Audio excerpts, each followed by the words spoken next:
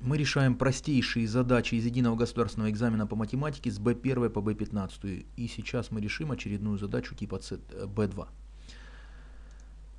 Налог на доходы составляет 13% от заработной платы. После удержания налога на доходы Мария Константиновна получила 9570 рублей. Сколько рублей составляет заработная плата Марии Константиновны? Давайте обозначим заработную плату Марии Константиновны через x. То есть так и напишем. Пусть, пусть заработная плата, заработная плата Марии, Марии Константиновны составляет, составляет x рублей. Составляет x рублей x рублей. Тогда, тогда, давайте найдем налог. Налог составляет 13% от заработной платы. То есть так и напишем. Тогда 13%, 13% от заработной платы, а это значит от числа x. Тогда 13% от числа x а, составляет налог. Составляет налог. Составляет налог. Давайте для начала а, в первом действии найдем этот налог. То есть найдем 13% от числа x. Как найти 13% от числа x? Необходимо, самый простой способ, необходимо 13% а, перевести в десятичную дробь, для этого передвигаем запятую на два знака влево, у нас получается 0,13 и умножаем на x. 0,13 в скобках рублей, а, это и есть налог. То есть налог. Далее, второе действие. Теперь давайте попробуем найти э, заработную плату без налога. В смысле наоборот, заработную плату с учетом налога. Второе. То есть тогда необходимо от числа x, то есть от заработной платы, необходимо вычесть налог вычитаем 0,13х. От x вычитаем 0,13х. x можно вынести за скобку. Тогда у нас э, получается, в скобках остается э, коэффициент при x у нас единичка. Значит, надо от единицы, x выносим за скобку, тогда от единицы надо вычесть 0,13. Таким образом, у нас в скобках остается единица минус 0,13 и умножить на x. От единицы вычитаем 0,13, будет 0,87х. 0,87х. Что это такое?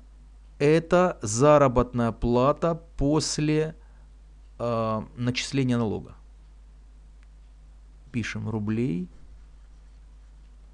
Рублей. Это уже фактическая заработная плата после налога. Причем эта заработная плата после удержания налога нам известна. Она по условию задачи составляет 9570 рублей. То есть вот эта заработная плата по условию равна 9570 рублей. То есть так и запишем. Третье. Заработная плата после удержания налога то есть 0,87х, по условию нам известно и равна 9570 рублей. 9570 рублей. Ну теперь просто-напросто вот из этого уравнения нужно найти э, x. Почему? Потому что x это как раз то, что нам нужно записать в ответ.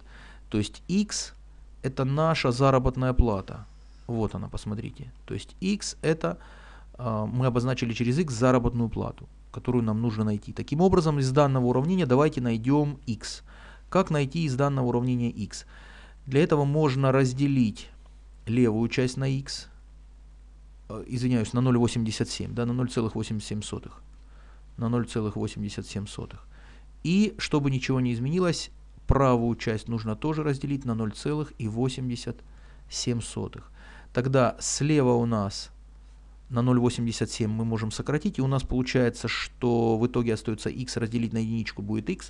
То есть получается у нас x будет равен. То есть наша заработная плата будет равна чему?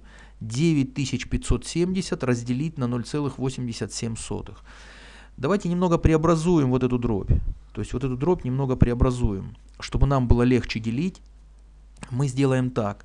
Мы умножим э, числитель на 100 и знаменатель умножим на 100. Для чего? Для того, чтобы вот эту запятую э, перенести и получить в знаменателе целое число. То есть избавимся от десятичной дроби в знаменателе. Умножим числитель на 100, и чтобы ничего не изменилось, знаменатель умножим на 100. Тогда, если числитель и знаменатель умножены на одно и то же число, от этого дробь не изменится. Тогда у нас получается 9, 5, 7, 0, да еще 2 ноля от сотни. Вот от этой сотни еще 2 нуля. Вот, ну или можно было 100 отдельно записать, чтобы нам было легче. Ну, пускай, ладно, уже так записали и разделить на 87. Разделить на 87. Давайте произведем деление в столбик. То есть 9500, 90, 957 тысяч разделить на 87. Сколько тогда в итоге у нас получится? Значит, поделим в столбик. Тогда 9000, 957 тысяч мы должны разделить на 87. 95 мы делим на 87, берем по одному, это значит 87 будет. Вычитаем. От 5 7 отнять нельзя, занимаем у девятки 1 десяток. Получается 15 минус 7 будет 8. И здесь будет э, вместо девятки уже останется 8 десятков. 8 минус 8 будет 0. Сносим 7. Берем по одному. 87 а, минус 87 будет 0. То есть деление мы завершили, и у нас еще остается вот эти три нуля, которые мы должны переписать в ответ. То есть получается в итоге 11 тысяч рублей. То есть окончательно у нас получился x равен 11 тысяч рублей.